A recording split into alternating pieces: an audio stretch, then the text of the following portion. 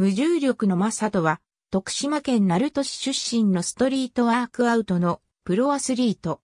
日本人初のアジアチャンピオンに輝き、世界大会でも4位入賞という結果を残すなど、日本のストリートワークアウトの第一人者。アスリートとしてだけではなく、メディア出演や YouTube など幅広く活動中。日本のストリートワークアウトプロアスリート空中を歩くようなパフォーマンスを得意とすることから無重力のマサトと名前が付けられた。得意技はプランシェ。2017年にストリートワークアウトの日本大会に初出場し6位入賞。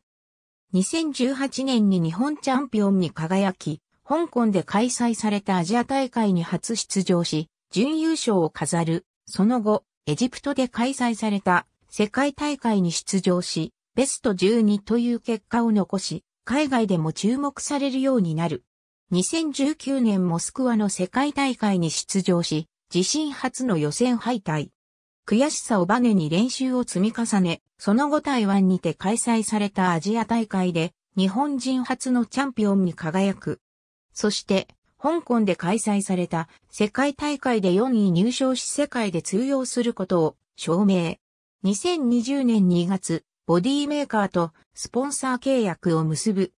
2020年3月オーストラリアで開催されるアーノルドプロストリートワークアウトに出場する予定でしたが、コロナの影響で大会が中止になる。出場予定だった大会がすべて中止になり、自粛期間に YouTube チャンネルを開設し、ストリートワークアウトや自重トレーニングの魅力を発信。そして自身のオリジナルアパレル立ち上げる。自粛明けに大阪に移住し、日本初の屋上ストリートワークアウト施設をオープン。